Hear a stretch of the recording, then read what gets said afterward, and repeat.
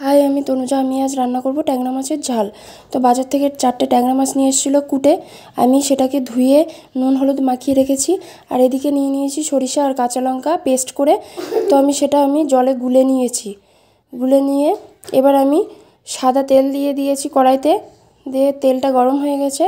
এবার আমি মাছগুলো ভেজে নেব লাল লাল করে। তো এই মাছগুলো না প্রচুর ফাটে। তো আমি থালা দিয়ে ঢেকে দিয়েছি।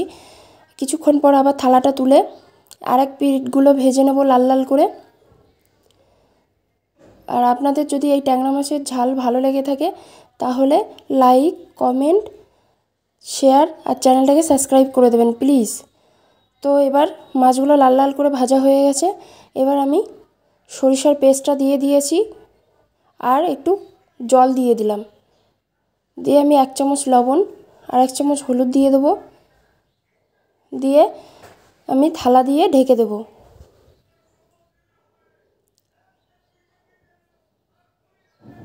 আর কিছুক্ষণ পর আবার ফিরে আসব, থালাটা তুলে নেব, নিয়ে আমি খুন্তি দিয়ে একটু নেড়ে নেব।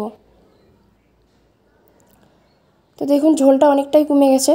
তো রেডি হয়ে গেছে, আর উপর থেকে একটু কাঁচা তেল দিয়ে দিলেই রেডি এবার লাবিয়ে নিয়ে উপর থেকে কাঁচা আর পাকা লঙ্কা দিয়ে পরিবেশন করলেই রেডি হয়ে যাবে।